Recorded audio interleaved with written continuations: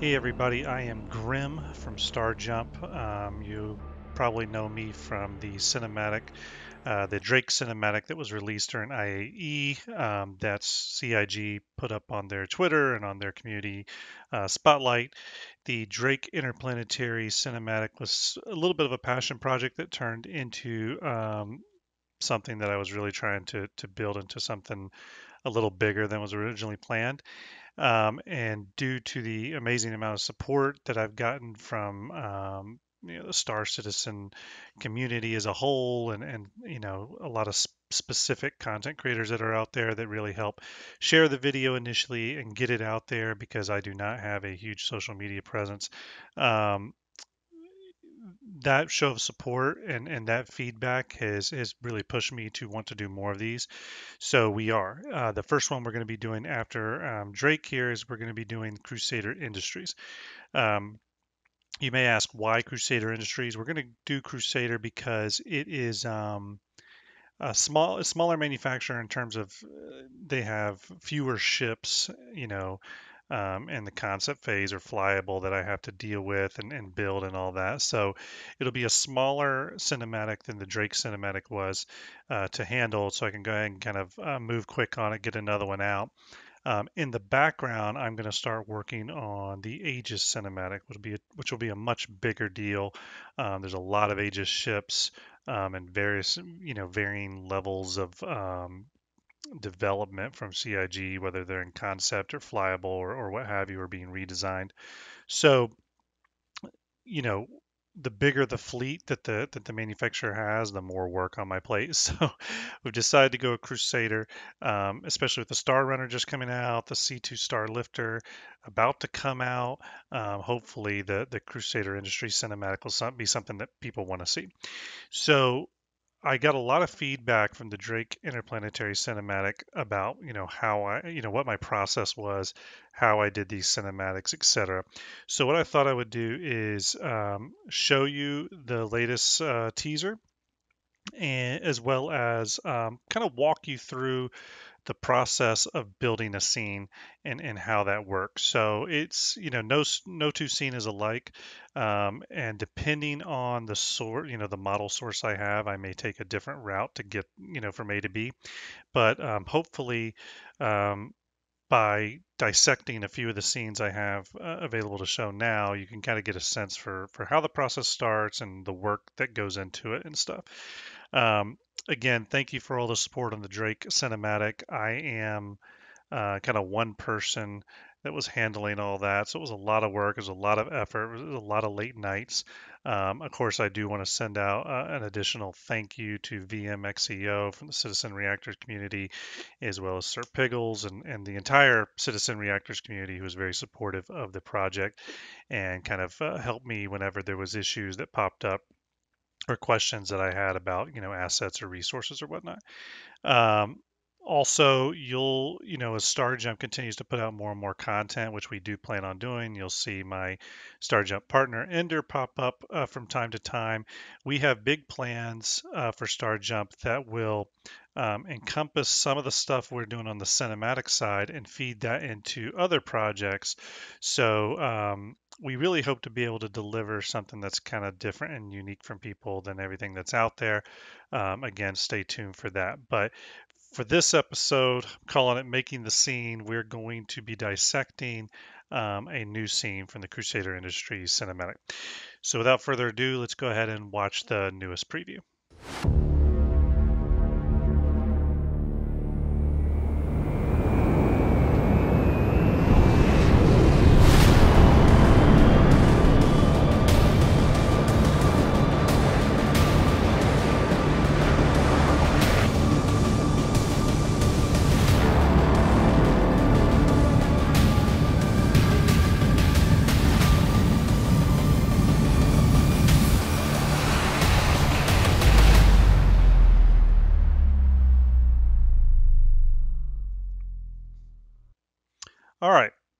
So you watched that. Hopefully you enjoyed it. Uh, it's a three-shot sequence. Uh, we have the star liner kind of emerging from the clouds, a nice hero shot of the Starlifter, and then um, we see uh, in cabin view of the Starlifter, looking out on the windows, we see a star or star of the Starliner. Then we start see a Starlifter going up and an Ares coming in, and then we cut to a shot of the Starliner flying away. Crusader logo, bing, bang, boom. So let's start off. The first thing I have to do with with any um, project that I work on is is you know acquire some sort of model, something to work with, right? Um, on RSI's website, they have all the holo models available, or most of them, not all of them. Um, those models are kind of in varying levels of, you know, quality, depending on, on what CIG was doing with them. Um, so here you'll see the Starliner model I've, I've just brought in. Now, um, I am using um, Cinema 4D um, as the software to work in. That's something I, I, do in my industry. I work in the film and television industry, so it's a software that I use quite often. I also use Blender and, and a few others. Um, but if I zoom in, you'll notice that this um, Starliner model's got quite a few issues. Again, this model was just put together probably really quickly by CIG in order to do concept images, right? Um, concept images a lot of times don't need a, a, fully complete detailed model because they do a lot of painting over top of it you know so if i was to pull up um, an image like this which is one of the concept images uh, from cig you know very quickly i could kind of um, you know get something just by maneuvering the ship around um, get it in the same position here kind of do a uh, side by side here uh, but you know, very quickly you can kind of see how that they could throw some textures on there, render this out, and start painting overall and get you a really cool concept image. Um, and that works great for you know for stills. Um, unfortunately, um, these cinematics obviously are animated, fully animated scenes, and not only that, I have to um, a lot of times be up close to these ships, and they lack a lot of detail uh, the holo models do at least lack a lot of detail um, that one needs for the cinematic. Now, again, I talk about the models being in varying levels of diffi- uh, you know, varying levels of quality. Um, if it's a release ship, let's say it's the Cutlass Black, the holo model could be in really good shape, has all of its detail, et cetera, et cetera. For something in very early concept, let's take the Starliner for example, it's going to be missing a lot of things it needs and some of the things it, it already you know it has in place are going to be very low quality just sort of blocked in um, type of geometry. So if i bring over this image again uh, this piece of concept image one thing you'll notice is um, it's got these VTOL fans in the winglets here. Um, it's got a uh, you know a front canopy here uh, windscreen um, it's got light sources on the wings here um, and other details. It's got windows here on the side. Uh, but if I go back to the model, you'll you'll notice it's missing all that stuff. It doesn't have windows over here. Uh, we don't have a front canopy at all. Uh, we don't have any lights on the winglets. Uh, we don't have any of the VTOL thrusters inside the wings. Okay, so obviously that's a problem. It also has other issues too. Just um, uh, I won't go too technical on the 3D side here and in terms of modeling and stuff. That'll be a deeper dive video later, but it has other issues too. Like for example, they have this back ramp here. This was just temporarily thrown on. This was probably for, um, again, just a piece of concept image. Um, so where do I start from here? Well, the first thing I do is I'm going to start um, detailing out the model, okay? And I'm going to go over here and I'm going to grab um, one of my models here, and it uh, the, some of these scenes are kind of heavy, so um, just stand by. I'm going to paste this in here, and I'm going to kind of zero some things out here. Just stand by with me. Um, for any of you that know uh, Cinema 4D, you probably recognize some of the stuff I'm doing right now. Uh, for those of you not familiar with Cinema 4D, it is made by a company called Maxon and is really, really cool. Um, okay, so I'm going to turn off. So we got two models in here. One is the CIG uh, Holo Viewer model, and the other one is um, my model that I done uh, extensive rework to. Um, and if I unfold, so when you bring the model over from the holo viewer, you'll notice here it's just one piece of geometry. It's it's usually not separated out. You don't have any control over it. Um, to give you a sense with my Starliner, this is all the elements here that I'm scrolling through that have been added or adjusted or or whatnot. And again, that can be anything from you know textures here um, you know, Microtech Space Lines to adding the windows, which are a little hard to see, but they're right there. Um, smoothing out some of this geometry, like on this engine intake here. Um, you'll notice in the um, in the holo viewer model, it's all kind of squared off. It doesn't have a lot of you know nice contours and stuff to it. Not sure what CIG has planned for that ultimately, but I ended up just kind of going in and smoothing that out. I added lights um, to the model. I added internal VTOL thrusters. Um, they don't go through the bottom of the wings. I didn't go that far with it. Again, you have to kind of know what your limits are. Um, you could spend two months detailing out a ship. What you have to identify is what your shots are going to look like and how much detail you're ultimately going to need from that shot. Um, for example, if, if you only see the ship from a from a far distance, you really don't need a lot of uh, you know detail in it. But if you're going to be seeing it up close, you need that detail, um, and you need to decide where that level of detail sits. Um, I also went in and added, added like little winglets like this um, here and there. Um, I adjusted things like the canopy windscreen. Um, this was really just kind of chopped in there. You can see I can pull it out here. Um, really just chopped it in there real quick. Um, what else do we got here? Um, and you'll notice the texture is kind of crazy right now. That's partially because of the um, of the shaders I have on it and, and the lack of an environment and all that stuff. Um, one thing I did though, let me go back to the original holo model is back here you'll notice it's pretty low detail. These little supports inside the wings, um, these are pretty rudimentary and simple. I'll go ahead and highlight them here. Um, just kind of rudimentary and simple geometry. Um, and then back here with the engines, it just felt very, uh, you know, unfinished.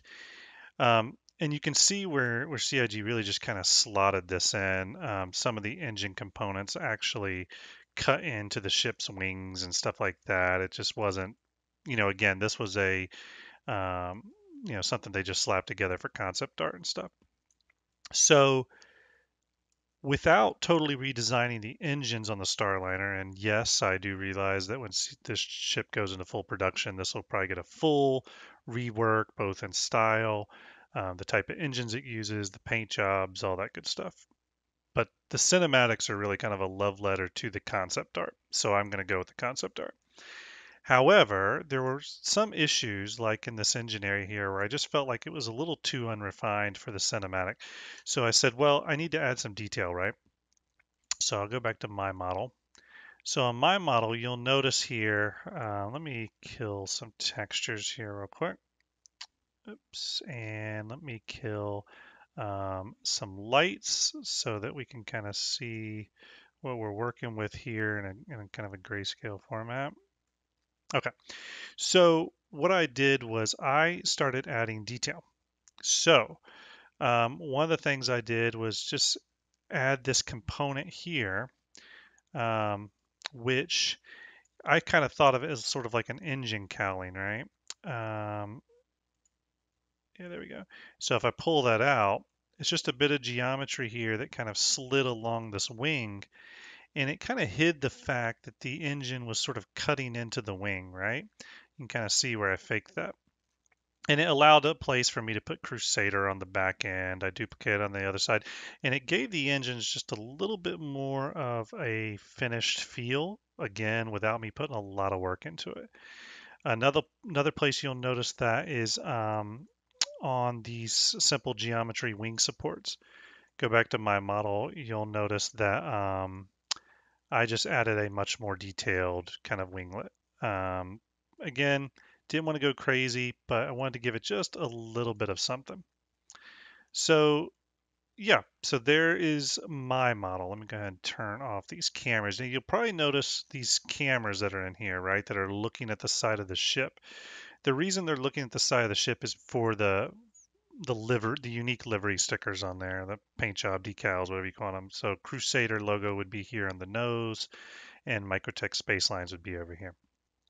So um, that's what those cameras are doing, are projecting those textures.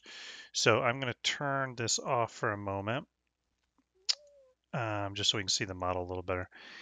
Um, so yeah, again, there is our hero Starliner. Um, is it as detailed as it could be? No, the bottom could probably definitely use a detail pass, but again, I had to kind of know where to stop. I had to know where to take it uh, for the shots that I was doing. Um, but again, I, I, think I got it to a decent place. Um, it feels nice and finished.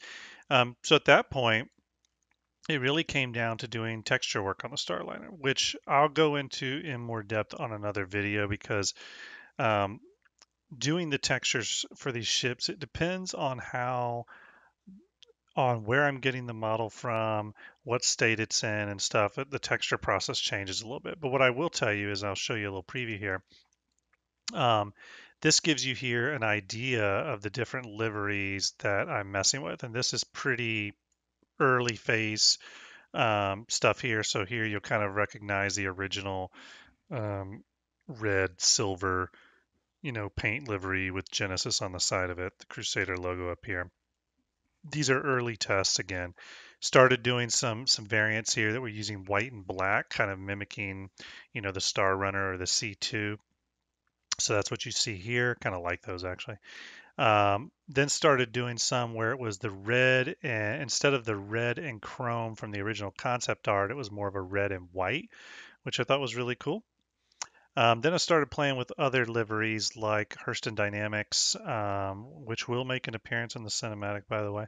I'm still working through this model. This is pretty early goings here, but uh, Hurston Dynamics kind of, uh, I sort of thought it was like a maybe a Hurston, um, you know, just passenger transport ship or something. And then ultimately is the one you saw in the cinematic. This is early concepting for the Microtech Space Lines um, livery of the Starliner. So anyways, gives you a little preview. Once you get your model in place, you can really kind of go crazy with the with the paint schemes and, and stuff. So more to come there. And I plan on doing a lot of wallpapers too for, for you uh, Genesis Starliner fans out there. Um, so that's our ship. Okay once we have our ship built out, once we have it textured and, and stuff and, and looking good, uh, we're then going to start blocking out a scene. So I'm going to go to scene one of the cinematic, which if you remember, go ahead and make this window big. And again, be patient. This sometimes these softwares take a while to, to load fully. Um, so this was our first scene from the cinematic. The Starliner comes up, our camera is orbiting around it. and we see the camera continue to angle over and zoom in ultimately for kind of a nice detail shot.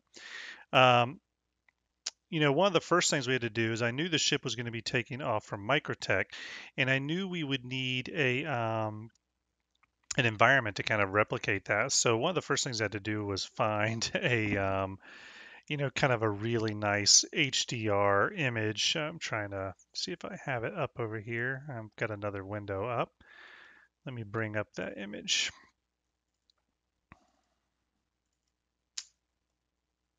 Mm, let's see, do I have it available? I think it's this. Uh, might not be able to open it right here. Um, sometimes these HDR files won't open natively, just, you know, Windows. Yeah, it looks like I can't. Uh, but anyways, what it is, is it's essentially a big giant um, kind of 360 panoramic snowy, mountainy environment. You can kind of see, um, I can render portions of it here.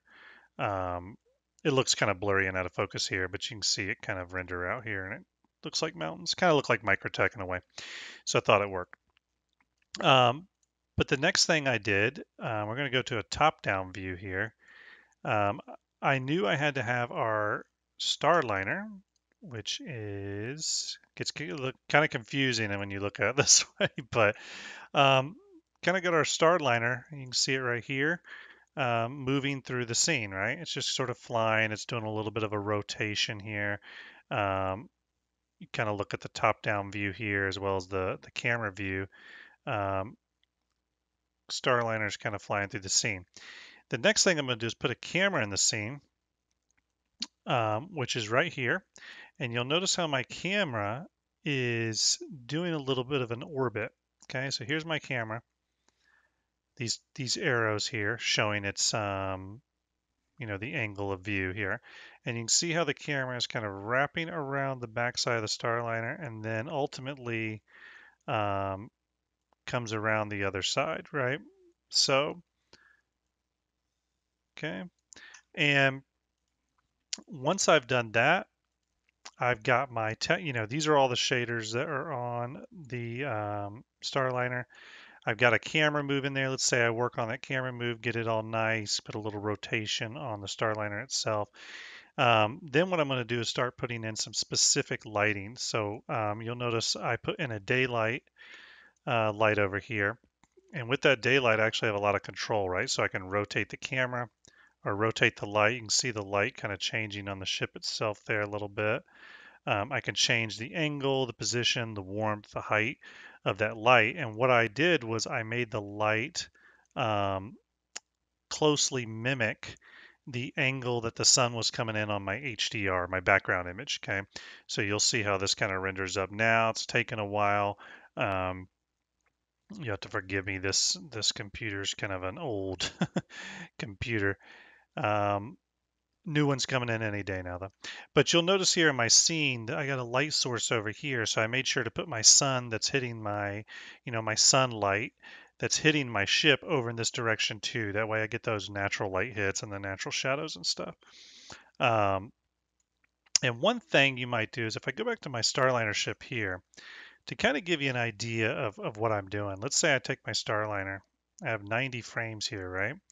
Let's say I take my Starliner and I set a keyframe at frame zero. I move up here, okay, and I pull the ship forward up to here, okay? I'm gonna set these uh, keyframes to linear. That just means it won't have any like curves up and down in its velocity.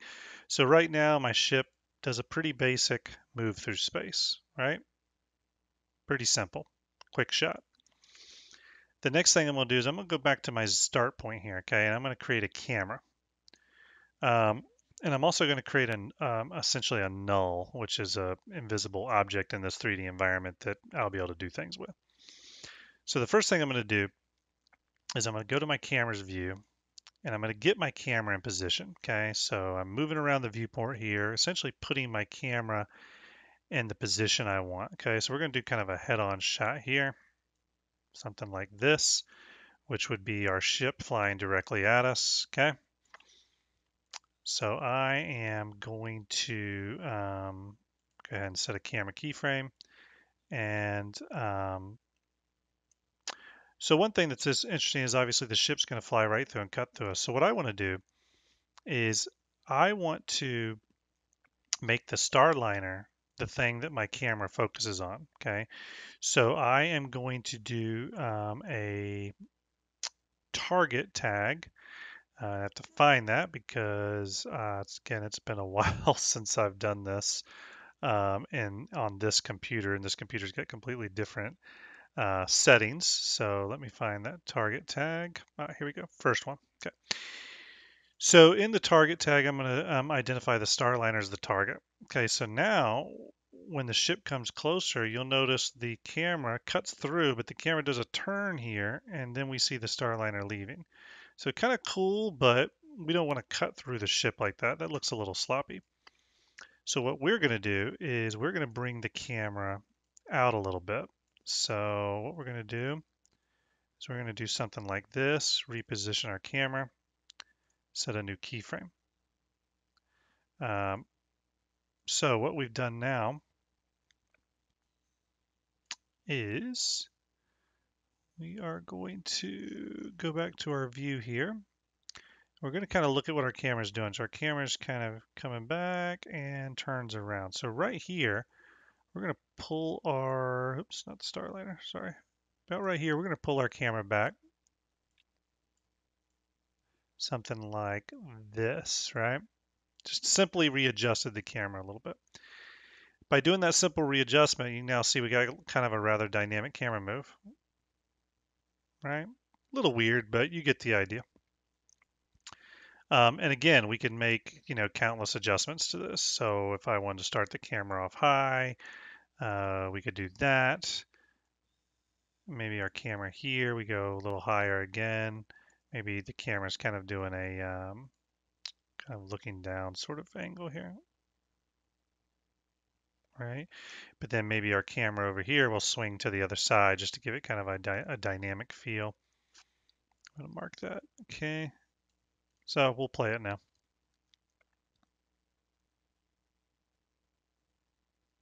So kind of cool. Feels a little jerky though, and obviously we would want to work on that and kind of smooth it out. That's all part of that process. Um, and sometimes that does take some, you know, some work to kind of really smooth things out. It requires you to go into uh, different modes here in Cinema 4D and start adjusting camera curves. You can see the curve down here You start really kind of altering those curves. Okay. Um, but again, once you get your your camera in place, your ship in place, your textures in place, your lighting in place, your HDR environment in place, um, at that point, it's just nuance, polish, etc., to get a scene that you, you know, a, a, scene that that feels right and kind of hits your original vision. Um, so that's scene one of of the current preview for the Crusader Industries cinematic. Let's move on to scene two, which is kind of a different beast.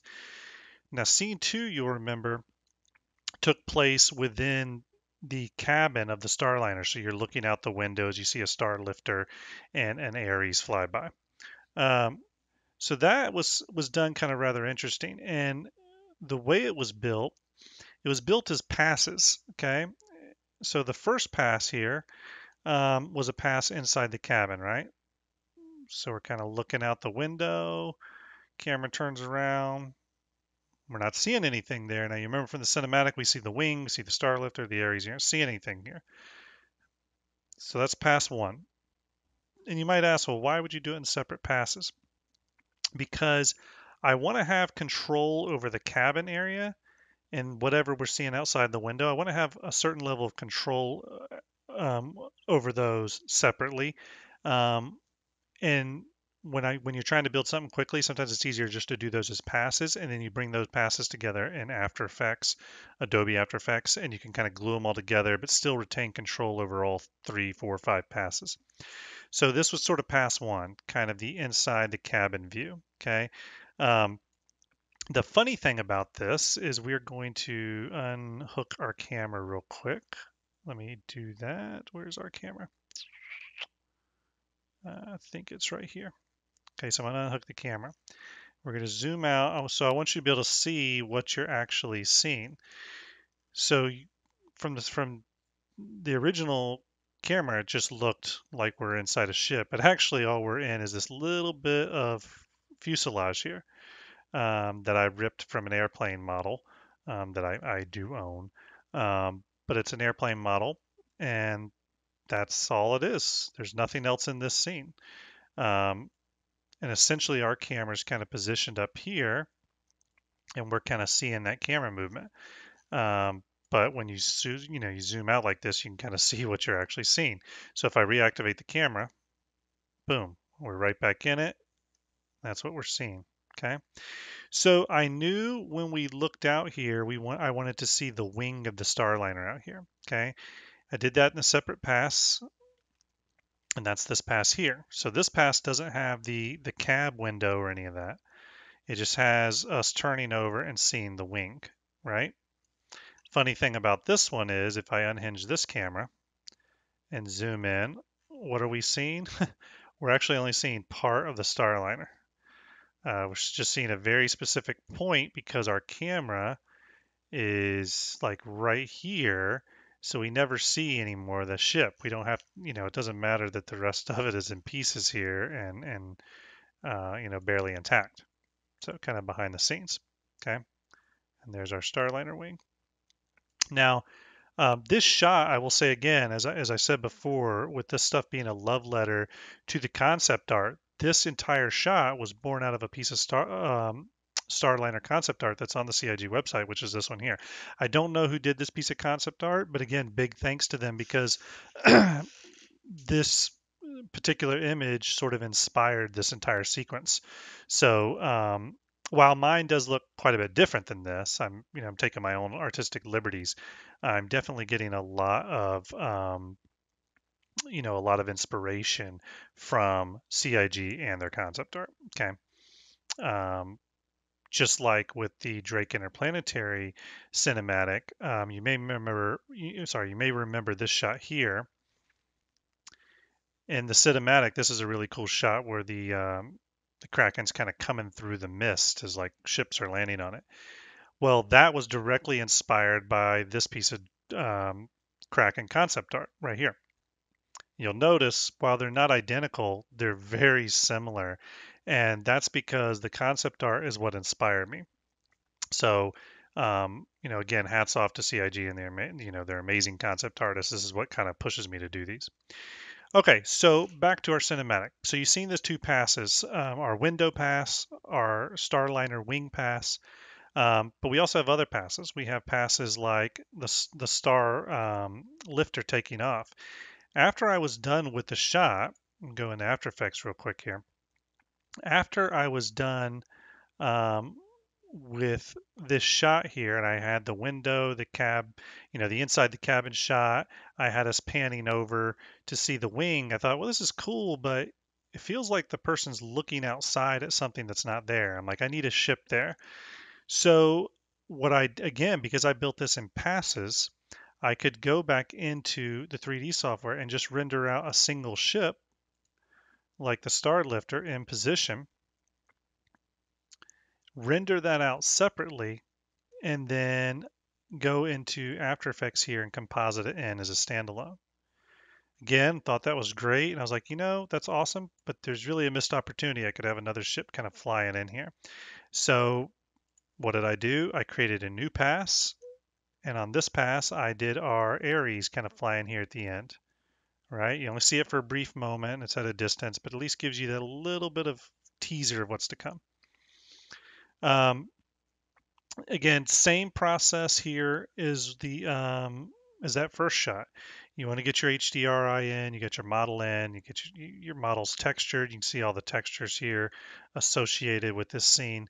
Um, you then want to get your lighting done, all that good stuff. Put your your camera nuances in there, and the camera is really the long the thing that takes the longest to get right. You, you got to really work your camera and get dynamic shots. Uh, but once you have all that, you then package this up, send it out to render, and what you get back are um, essentially uh, raw CG, as I like to call it. So I'm going to kind of solo that here. Um, so this is a raw shot from um, that first scene. And you can see it looks pretty good, uh, but looks quite a bit different from our original um, finished scene. This one looks a lot more CG. There's a lot less light play going on. Um, so the first thing I knew I wanted to do was add some more cloud cover, especially up in this area. So I rendered out a cloud pass, put that in. Boom, you can see that here. So you can see these clouds kind of move, but you can see these clouds, since they're over top of my ship render, that's a problem. The clouds are now overlapping the ship. So I have to now bring in my ship again, but cut it out to where it can fit over top of here while still seeing the clouds. So that's what this is, okay? So again, it's more like sandwich slices, right? So here's my ship. It's flying through the clouds, coming along. Um, the next thing I wanted to do was add a bit of shine and that shine comes into play here. We had such a strong light source over here that I wanted to get um, some shine com coming over top of the ship.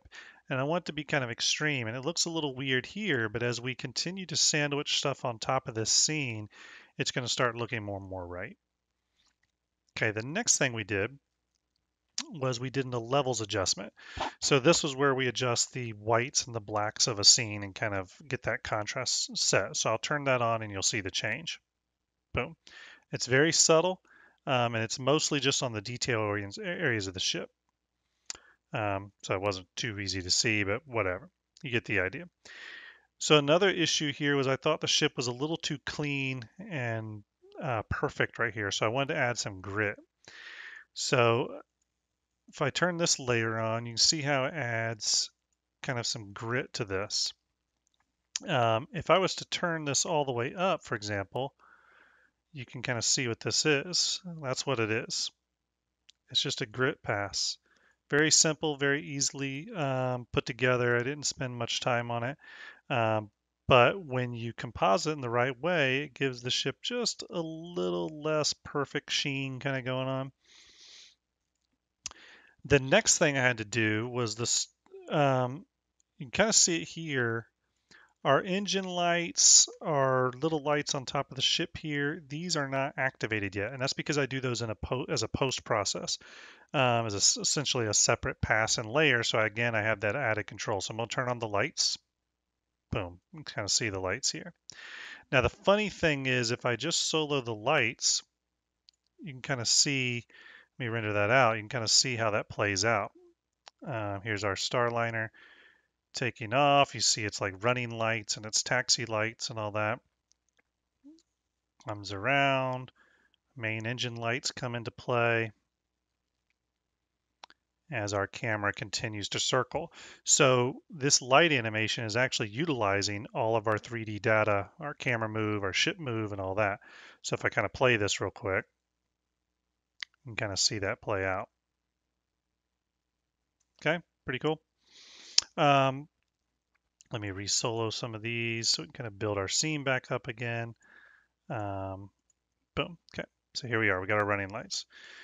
The next thing I wanted to do was do um, an optical flare. And that flare really comes into play here. We had such a strong light source. Again, I wanted more light kind of hitting this. So turn on the optical flare.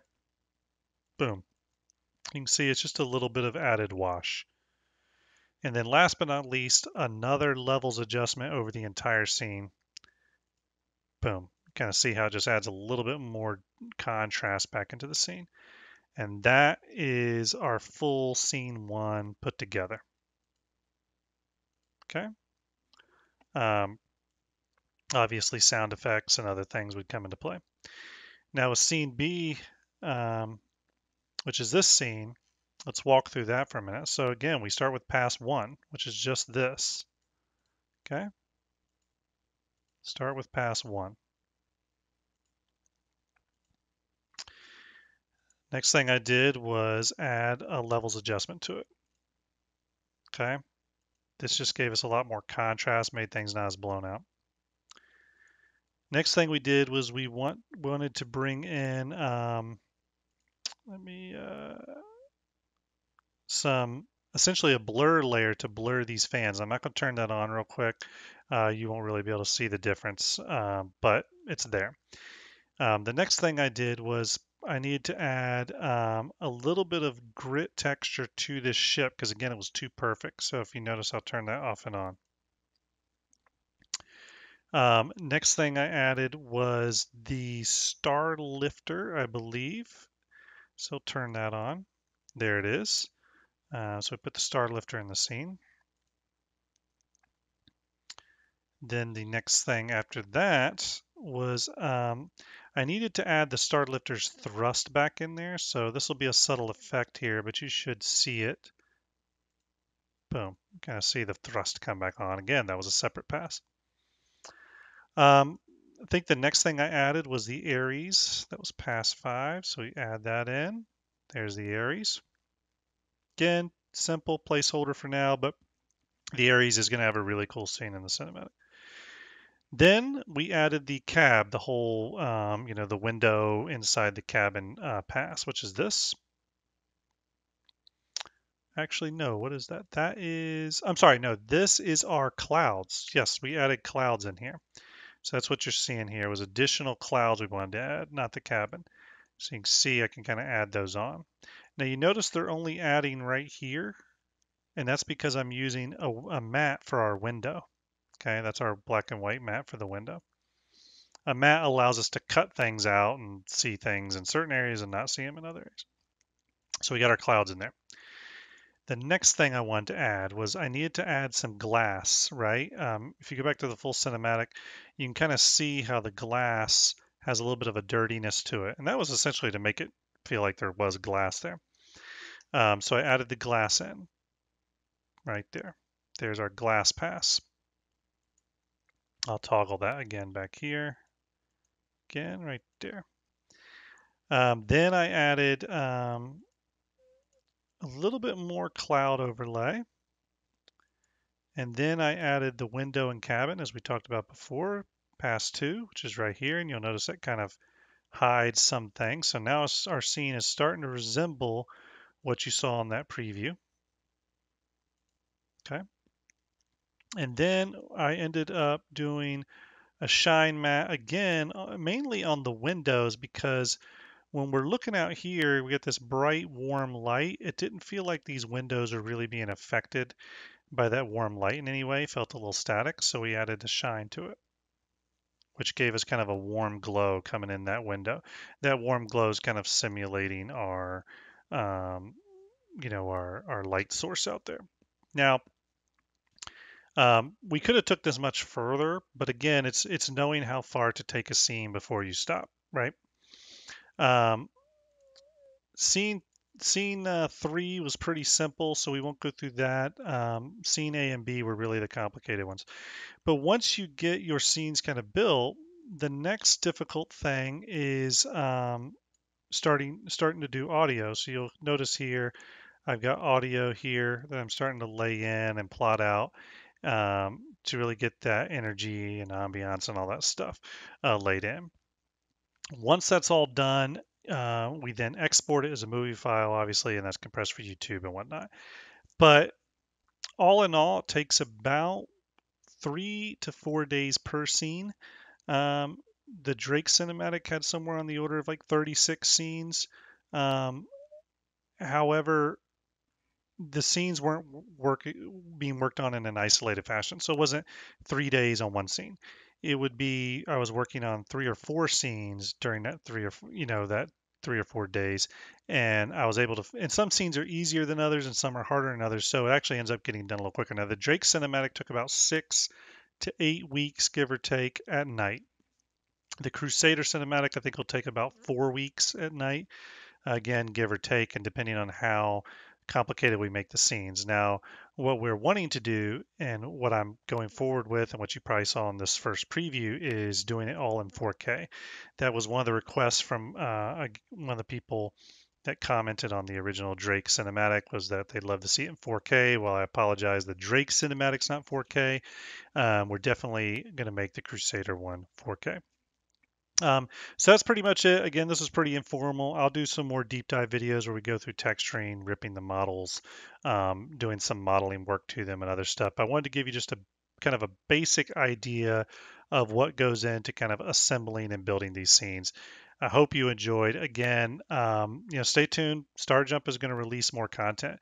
Um, we're always going to release content with more of an eye towards role play and, um, you know, utilizing um, CG in a way um, that we're able to talk about stuff in a way that hasn't been done before. So instead of just showing you concept art, if we do a show where we talk about um, you know ship manufacturers and we're talking about the kraken for example we want to be able to show the kraken in a way that's never been seen before um, through the same techniques we do these cinematics with um, so again we appreciate every everyone's support it's been really awesome to see everybody you know um, support the channel and support our first cinematic and we're really proud of it. It's got a ton of views. We thank CIG for supporting it. You know we thank all the content creators out there that were supporting it um, you know execute um, texas space navy dg360 uh, of course montoya who is a big supporter of it. Um, the list just goes on and on. Um, so we really appreciate it. Uh, again we don't besides this channel and these cinematics, we don't really have a foothold out there in the larger Star Citizen community. community. So, you know, please feel free to continue to share this stuff and, and help us get it out there. So, hope you enjoyed it. Uh, stay tuned for the next one.